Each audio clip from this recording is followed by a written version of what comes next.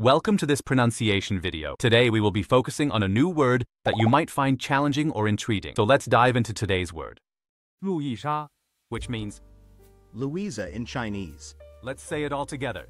路易莎,路易莎,路易莎. One more time. 路易莎,路易莎,路易莎,路易莎。